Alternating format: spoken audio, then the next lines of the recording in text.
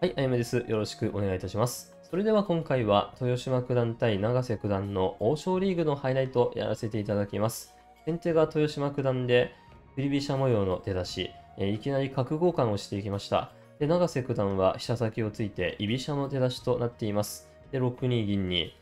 7七銀と上がっていきました。でそして永瀬九段4二玉と上がりまして、まあ、どこに振るのかなと見ていたら、なんと3六歩とついていきました。ちょっと意表の構想ですね。あまり見たことがありません。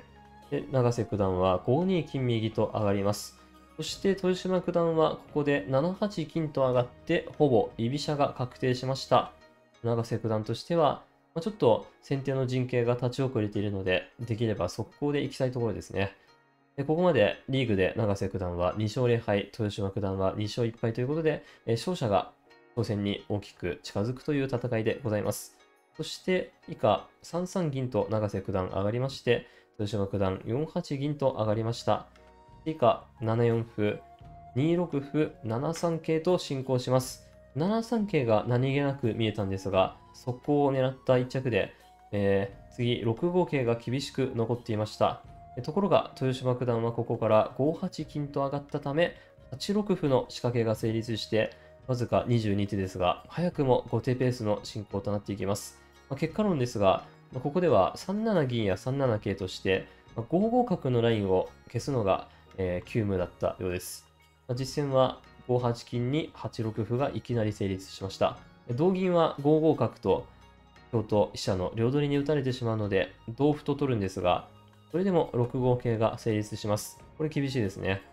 えー以下、6六銀と上がって、8六飛車とさばいていきます。ここで平凡に8七歩は7六飛車の横歩取りが成立しますので、実戦は8八歩と打っていきました。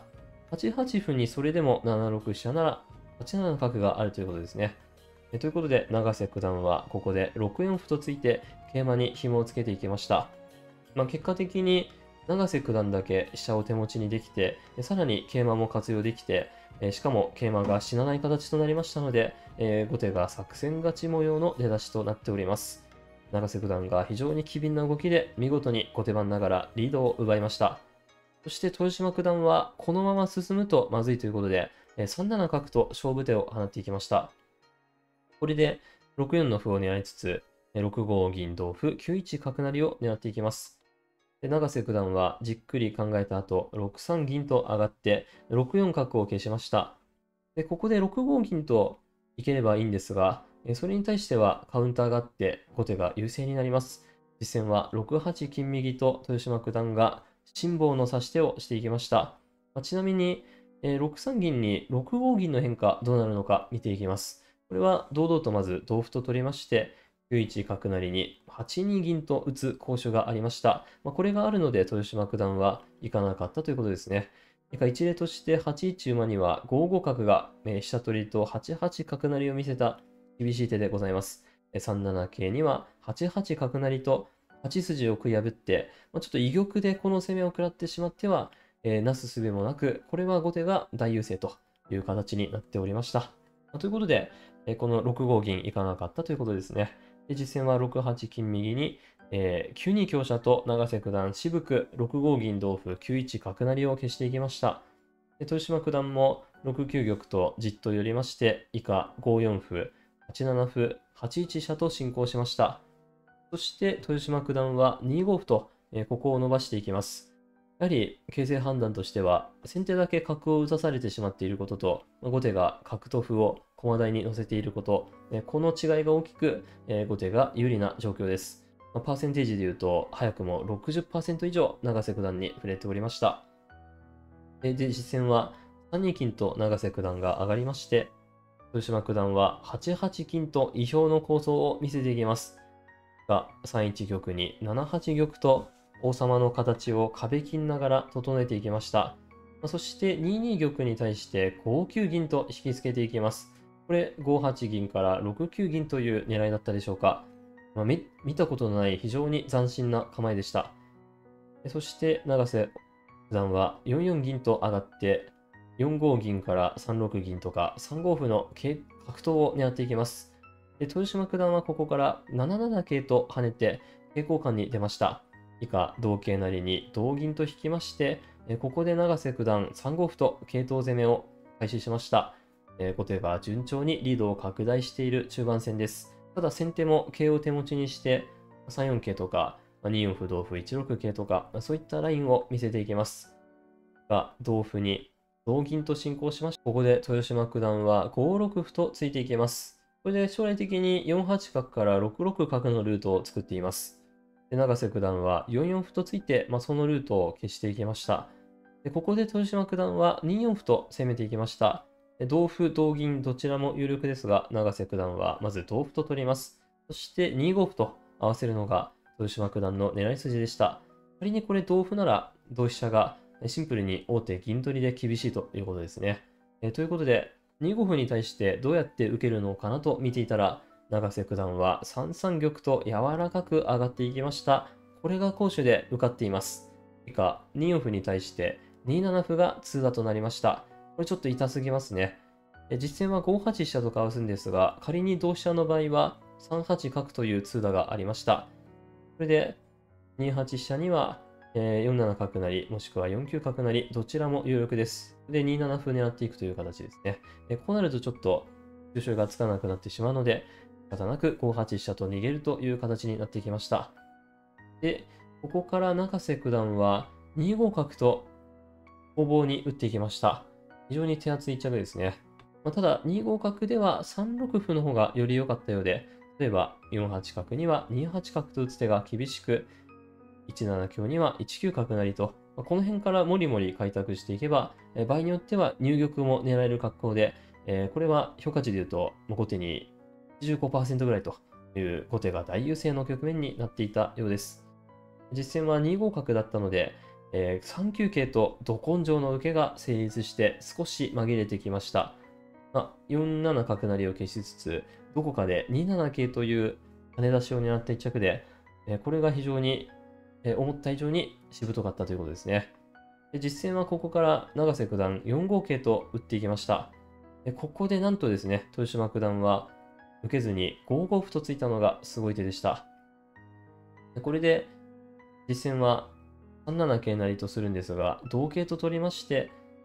これが角取りなので、3四角と逃げるんですが、4六桂とさらに追い打ちをかけていきます。これが上部への拠点として非常によく効いていました。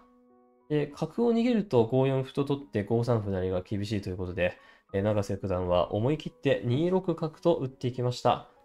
で桂取りを受けていると、さらに後手陣が手厚くなってしまうということで、豊島九段は3四桂と取っていきます。やっぱり角が取れたのが大きく、かなり豊島九段が挽回する形になりました。ただまだ、えー、永瀬九段が70%ぐらいリードというところですね。で同玉は非常に危ないんですが、実戦は永瀬九段3七角成と馬を作って、えー、桂を取って厚みを築いていきました。以下、豊島九段5四歩と取って5三歩成を狙いますが、5七歩と反撃が来ます。で、同金でも同飛車でも6五桂がきついんですが、豊島九段は金の方で取っていきました。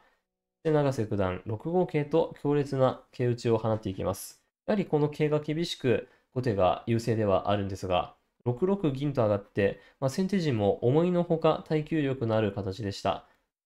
でここから永瀬九段は、次の、まあ、5三歩成同金、4六金と、えー、そういった狙いを防ぎまして、5五歩と、えー、この飛車の潜在的な危機を止めていきました。でただ、豊島九段4六金と上がってさばいていきます。以下、同銀、同歩、同馬となって、先手に貴重な銀が手に入りました。でここで次、7九金の詰めろなので、豊島九段は6八角と受けつつ、攻めに効かせていきます。そして永瀬九段は少し考えた末に1九馬と取っていきました。そしてここで2三銀と踏み込む手もありますが、えー、3五銀と実戦は打っていきました。これで3四の桂馬を取られないようにしているということですね。でここで永瀬九段が4五金と打てば、ほぼ、えー、4四地点の傷を消して、えー、3五金同角、3四玉とか、えー、桂馬を抜く手も見せまして、これであればほぼ完封ペースだったというところなんですが、実戦は5六香があまり良くなく、4八飛車で一気にほとんど互角の形勢までもつれていきました。これで、例えば4三金右とかで受けようとすると、まあ、6五銀が厳しいですね。同歩には2五桂で一手詰めになってしまいます。まあ、ということで、この次の4四飛車や4四銀が思いのほか受けづらく一気に逆転模様となっていきました。で永瀬九段は3七馬と引いて飛車を狙うんですが、4四飛車とシンプルにさばくのが厳しいです。高級強成なら、え6五銀と取って、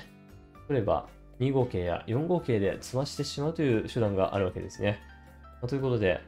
え永瀬九段は一旦4三歩とおとなしく退却を要請して、豊島九段も4九飛車と応じていきました。4九飛車に対して永瀬九段は5九香成と銀を取っていきました。ここで同角や同飛車だったら後手優勢が継続していたんですが、豊島九段が6五銀と桂をもぎ取ったのが攻守で、これで実践的に逆転模様となりました。次、同歩だと4五桂もしくは2五桂で後手が一手詰めしてしまうということですね。4二地点と2二地点は塞がっています。ということで、えー、6五銀で一気に逆転模様となりました。永瀬九段は6九銀と打ちます。で、8九玉に3六馬と、まあ、詰めろ逃れの詰めろ風味の手を指していきました。まあ、先手玉7八金から結構危ないですね。でここで豊島九段に勝ち筋が生じました。それが4五桂という手でございます。4五桂には同馬と取るしかないので、同飛車と進行しますが、まあ、そこで一例として6五歩と銀を取る手があります。これに対しては9八玉と上がるのが先手を絶対詰まない形にする攻守で、例えば7八金には同金、同銀なり、4四角、同歩、同銀で、で、2四に行けないので3四玉なんですが、まあ、3五金まで詰んでしまうという手があります。なので9八玉に対して先手玉を攻撃する手ができませんので、4四銀とかで頑張ることになりそうですが、えー、2三歩成が軽妙手で、同金なら2四歩と、これで金が確実に取れる形になって、先手が小生と。同玉には4四飛車と取りまして、同歩に2四銀打ちですね。1二玉に3三歩と追い詰めていって、金が入れば後手玉2二金からばらして2三金で詰んでしまいますし、かといって受けに回っても2三歩で、まあ、一手一手の寄せになってしまって、これも先手が小生になるというところでございました。例えば3一金なら2二角で、これで崩壊ですね。2一玉には3三角成で、同金には同銀成でございます。まあ、先手玉が非常に硬く、金を駒を渡さないとちょっと詰めろがかからない形なので、えー、小ということですね。ということで、えー、同飛車6五歩に9八玉が攻守で、手が勝てそうというところでございました。9八玉っていうのが、で、あとですね、ここから5四銀と取る手があるんですが、これに対しては2三歩成もありますし、8六角と上がる手が攻守です。8六角厳しいですね。8六角に例えば4五銀と、えー、を取りますと、4二角と打ちます。で、同金、同角成、同金、2三金で詰むと、こういう筋がありました。8六角が攻守で、えー、勝ちだったということですね。やっぱり、なかなか1分将棋でこの8六角まで見通してっていうのは、まあ、藤井八冠でもない限りかなり難しいかなということで、えー、まあ、これはさすがに逃しても仕方なかったかなというところですね。まあ、8六角に5三銀、まあ、5三桂とかだと取って取って2五桂で詰みますし、5三銀もま同角なり、同金に一例として2二銀と打ちまして、同金、えー、4二角、2玉、5三角成で、これで、えー、ほとんど受けました。というという手順がございました。ということで、いずれにしても、もう8六角と上がれば、先手の角がほぼ確実だったということですね。幻の4五桂からの好手順。豊島九段もおそらく4五桂同歩同飛車まではおそらく見えていたと思うんですが、やっぱり6五歩がかなり嫌でやめたんじゃないかなと推測しております。そこから9八玉、5四銀、8六角という幻の勝ち手順があったということですね。1分将棋ではかなり難しかったですが、えー、交差していれば豊島九段が必勝形という形になっておりました。戦は4五桂を逃し、5牛車と、えー、取ったんですが、まあ、そこで8七飛車成が目の覚めるような絶妙手でした。えー、永瀬九段も1分将棋の中、8七飛車成という本当に素晴らしい手でいきなり勝ち筋に入りました。で8七飛車成には、ほっとくと詰めろなんで同金と取るしかないんですが、7八金と取ります。で9八玉の時に8九銀と打てれば詰むなということで、でこの3五の要の銀ですね。3五馬と取って、これで次8九銀が厳しく、えー、大逆転となりました。そして、豊島九段は6九飛車としまして、6八馬とさらなる絶望的な局面に対しまして、2二桂成と勝負手を放っていきました。まあ、6八馬は同飛車なら8九銀で詰むんで取れないので、まあ、2二桂成と、まあ、最後、これが詰めろになっているかどうか、ギャンブルでいったということですね。そして永瀬九段は1分将棋の中、自玉が詰まないことを正確に読み切って6四、えー、6 9馬としました。これで次、8九銀からの詰めろが受からないです。以下、3二成桂と豊島九段が迫っていきまして、まあ、同玉だと非常に危ないんですが、2四玉ですね。上に上に追い出していって、ちょっと足りない格好になりました。以下、2六香車と打って、2五銀と永瀬九段手堅く合駒していきます。手堅いですね。王様逃げると、下打ちの筋があって、場合によっては7八飛車とか、えー、飛車打ってから8八金打ちとかで、まあ、粘れる可能性もゼロではないということで、